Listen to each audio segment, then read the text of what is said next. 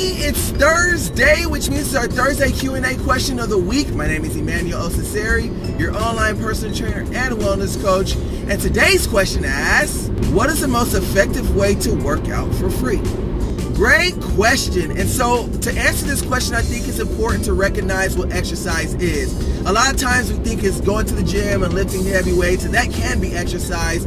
But my personal definition of exercise is doing something that you enjoy while you are actively moving. And so if you take that definition and plug it into all the things that you can do for free, such as flying a kite, going on a hike, playing football, walking your dog, these are all free ways of exercising. It doesn't have to be in the gym. And so, of course, this is catered towards a specific individual because again you want to make sure that you're doing something that you enjoy doing. So with all that being said the sky's the limit as far as all the different ways that you can exercise and actively move for free in your individual life.